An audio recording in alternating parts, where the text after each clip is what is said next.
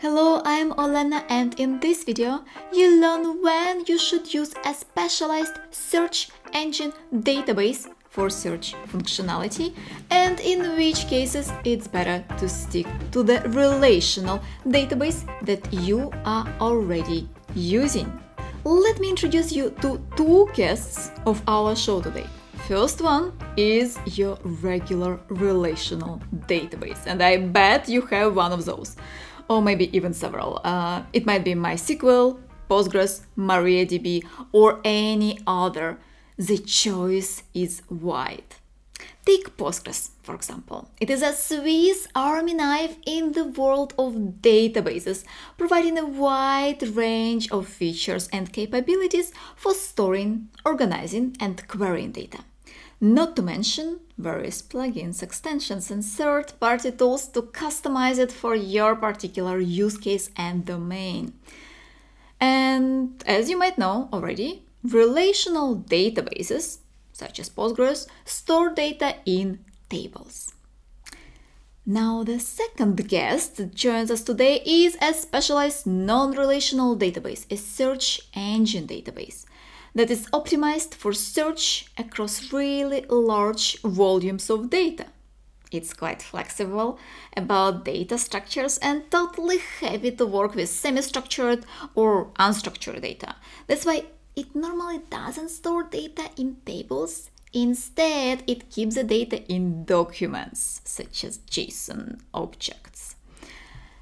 Some examples of uh, such databases are OpenSearch, Elasticsearch, Apache Solr, which are all actually based on Lucene. And Apache Lucene itself is a full text search library that was initially released back in 1999, still considered a golden standard for full text search, proven by more than two decades of time. So, like everything in life, both relational and search engine databases have their pros and cons. And because most of the generalized databases include support for search, it's not always a clear cut decision if you need a search engine database or the relational database that you already have is enough for your needs. To help you make the choice, let's look at when you should select one solution over the other. And first, the relational database. Our big friend that can do multiple things well, including search, even if it's not specifically optimized for it. Yet it still can be a very valid option in case if you do not require complex search. And by this I mean that your set of data is modest in size. The data is uh, you store in the table is well structured. Your search is limited to keywords. You don't need to search in blocks of text and most importantly, the relevance of the results isn't important to the end user. For example, imagine we have a table in a database where we collect information about patients in a hospital. You have information on their names, dates of arrival, symptoms, allergies, addresses of living, contact details, and so on. Your relational database search functionality will be most probably completely sufficient to find patients by their name or date of birth.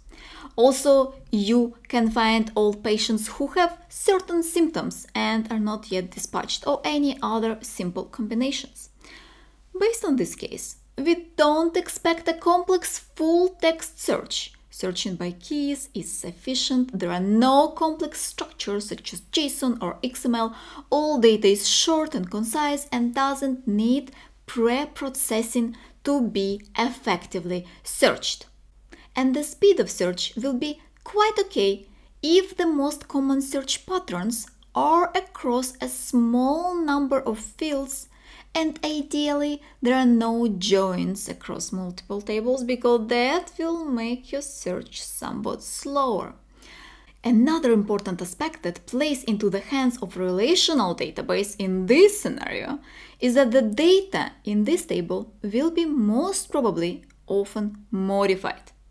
Here, for instance, information on the patient's symptoms and their current condition needs to be updated on regular basis. You might need also to be able to search in the data as soon as it is stored in the database, requiring the data storage to be ACID compliant, which is the advantage of our relational database over the search engine one. If all of this describes your scenario, you have pretty strong arguments to stay with your relational database. But if not, let's move on and look at the search engine database. When should you use a specialized database for search? Search engine databases are significantly more powerful at full text search not only they are faster at searching, but also they return better results because they take numerous things into account when analyzing data.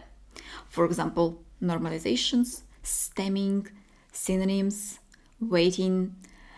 Secondly, the search engine databases are not limited to just table structure. OpenSearch and Elasticsearch, for instance, will rely on JSON objects containing data of different types. You can also have nested objects there and so on. Let's look at this example. Here we are dealing with different breeds of cats. You have such information uh, in JSON format and it includes various properties. Everything that you might want to know about the breed of cat before adopting a kitty. First difference is when we add this data to search engine database, such as OpenSearch, for example, we don't have to even specify what properties we have in the data. OpenSearch will use dynamic mapping, identifying the fields and selecting best types based on the data content.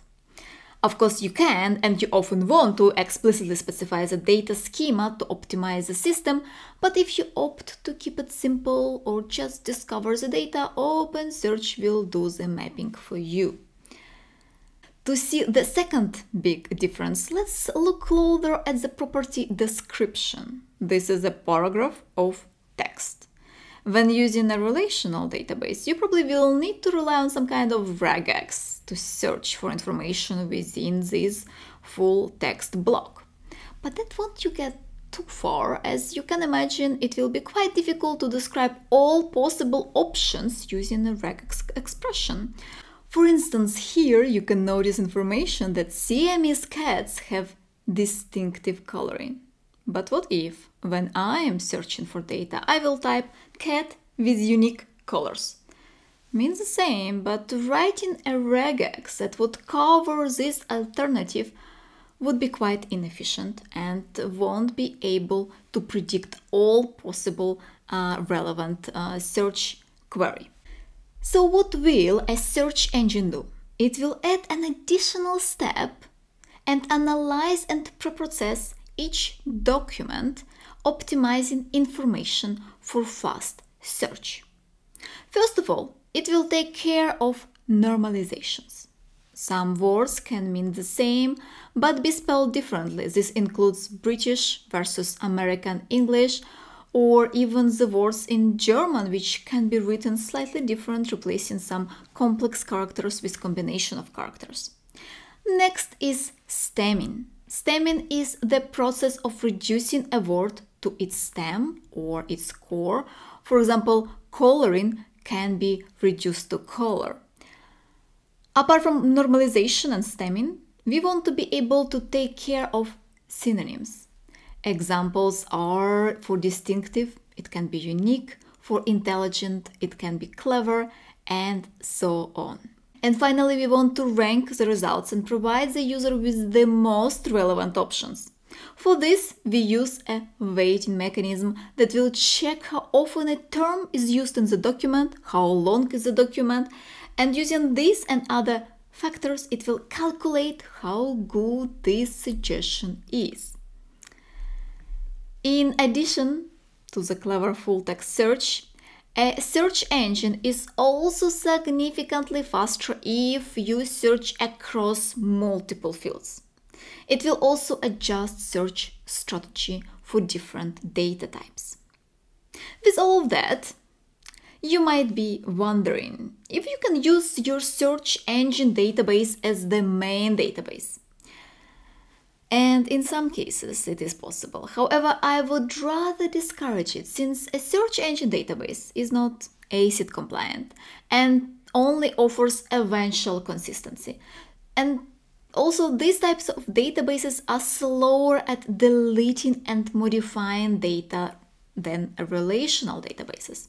So it might be not the best fit. However, a way more common scenario of effective usage is to combine search engine database with a relational database in your system.